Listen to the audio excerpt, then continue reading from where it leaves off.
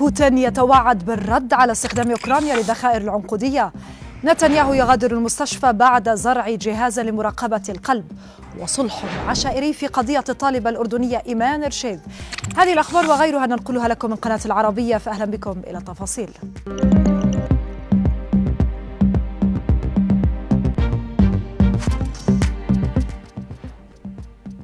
نبدأ الأخبار في دقيقتين من ساحة الحرب في أوكرانيا حيث أكد الرئيس الروسي فلاديمير بوتين على حق بلاده في الرد في حال استخدم الجيش الأوكراني القنابل العنقودية التي زودتها به الولايات المتحدة الأمريكية مؤخرا لدعم هجومه المضاد.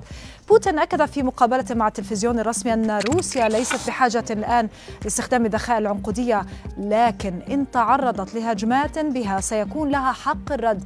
مؤكدا أن لدى روسيا مخزونا كافيا من الذخائر العنقودية وبأن نقص الذخائر لدى أمريكا هو سبب إمدادها لكييف بتلك القنابل. بعد وعكة صحية مفاجئة تعرض لها يوم أمس غادر رئيس الوزراء الإسرائيلي بنيامين نتنياهو ظهر اليوم مستشفى تل هاشومير في إسرائيل بعد أن زرع الأطباء جهازا بجسده يتيح لهم مراقبة معدل ضربات القلب باستمرار فيما تم تأجيل اجتماع الأسبوع لحكومته إلى يوم غد. موكب نتنياهو شوهد وهو يغادر المستشفى الذي أدخل إليه ليلة الماضية بعدما شعر بتوعك.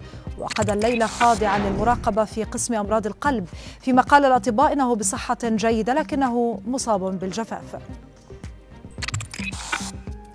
بعد أكثر من عام على مقتل الطالبة الأردنية إيمان رشيد في قضية هزت الرأي العام في الأردن.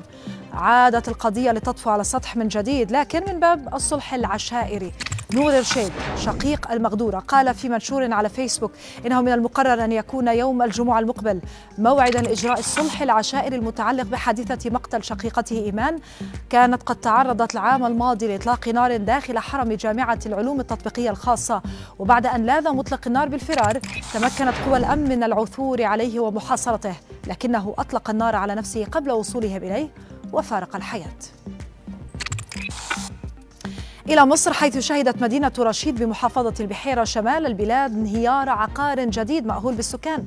وبحسب مراسل العربية فإن الحادثة أسفرت عن مقتل شخصين وإصابة تسعة آخرين على الأقل بينهم أطفال فيما لا تزال جهود البحث عن مفقودين مستمرة.